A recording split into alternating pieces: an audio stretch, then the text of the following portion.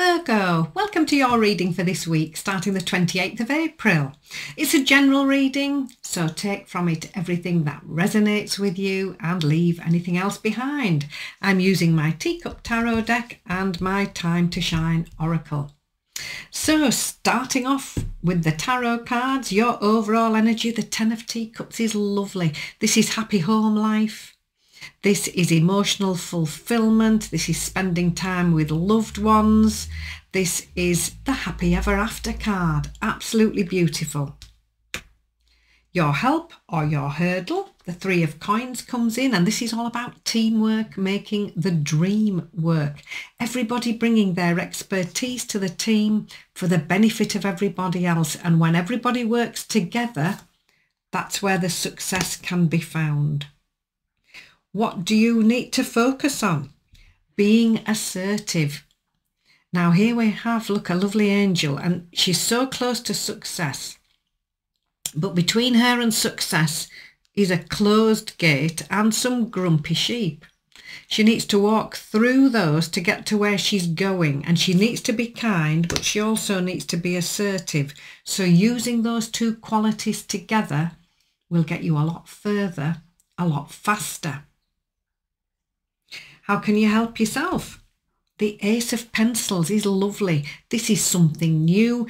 This Ace of Pencils brings in clarity and new ideas, new ways of doing things. Look, she's worked out by getting things, she's missed the target, look, with the first few goes.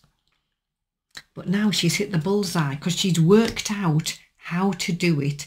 So this is clarity coming in. If things have felt a little bit uncertain, this is the clarity, this is the new information, new ways of doing things. This is what you've been waiting for. Pulling it all together, the King of Pencils steps in. Now the Kings are authority figures in the deck. The King of Pencils is very clear thinking, very logical, very grounded, very down to earth, very well educated in complex paperwork. So it might be a legal issue, it might be the small print in a lot of financial papers, it might be the small print of a new job contract.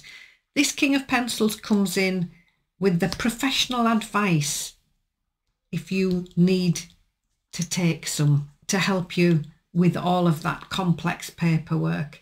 This could also be you stepping up into this role of advisor, mentor, teacher, helping other people. And your outcome is lovely. The Knight of Wands. The Knights are all fast moving energy. And the Knight of Wands, they all have a motorcycle, motorbike.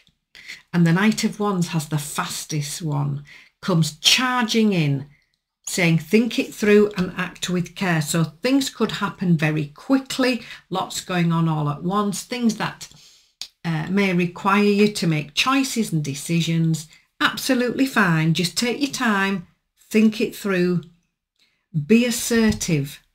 This clarity is coming in. This is where this King of Pencils can come in with the information that you've been waiting for the overall energy is lovely. It's happy home life, happy family life.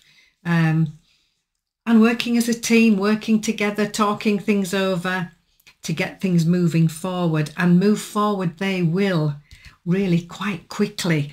So we need some clarity on all of this. We've got a lovely half a reading and we need a little bit more clarity especially on this Knight of Wands and King of Pencils card.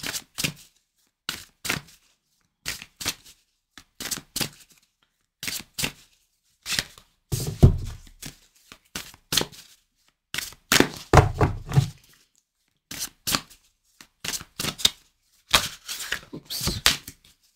Here we are. That's it. Right, I'll put them all out and then we'll talk about them. Oh, this is looking good. Seven of wisdom, six of wisdom, ten of thought. Lovely. Right, so overall energy. The five of life. So stay positive, focus on what you do have, Ask for any help if you need it. This is a card that says focus on your strengths.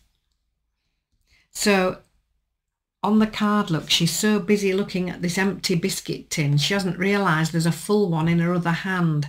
So it's a temporary sense of lack. But you don't need to do that because you know this card says know that you have all the resources that you need. Your help or your hurdle, here we are, same card, different deck, double message, being a good team member, working together, being brilliant at what you do, Teamwork, making the dream work, literally, double message. The one of action comes next in what you need to focus on. This is enjoying an exciting new opportunity. Take action, go for it. This is what this Knight of Wands could be bringing in. Something new, a chance to do something different. And it just says, think it through. Don't be hasty or make any rushed or rash decisions but here's the golden opportunity and you need to be ready to move forward with that.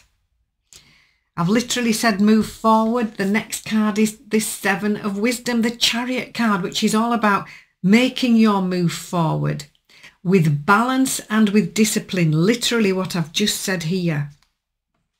So when things get busy, things coming in fast, lots to consider, wonderful opportunities, Yes, this card says make your move. This is the momentum you've been waiting for. This is the success that you've been waiting for. Just go steady. Think it through first. Make wise and sensible choices. This is the pulling it all together part of the reading. The Six of Wisdom is the Lover's card. And this is about choices and decisions. It says time to make choices and decisions carefully with love Choose what feels right. Choose what makes you happy. Choose what you would really like to do. And it's also enjoying new partnerships coming in. And then expect the situation to improve. This Ten of Thought has come through on nearly all of the other readings so far. Time to move on, be happy and enjoy things as they get better. So a much improved situation. So looking at your cards overall, the happy ever after card, a much improved situation, working as part of a team, everybody helping each other, clarity coming in, new ideas coming in, taking advice if you need to, or giving sound, well thought out advice on complex paperwork. Be assertive if you need to be, and when you need to be. Focus on your strengths because this movement forward is coming. It could happen quite quickly. A wonderful opportunity for you, perhaps on something that you've been hoping for and working towards. Think it through, do what you've always wanted to do, do what makes you happy, and then get ready to climb this staircase of success. So I hope you've enjoyed the reading. Thank you for listening. Thank you for watching. Thank you even more for subscribing and liking. That really does support my channel and I'm truly grateful for that. So look after yourselves. Have a lovely week and I'll see you here again soon.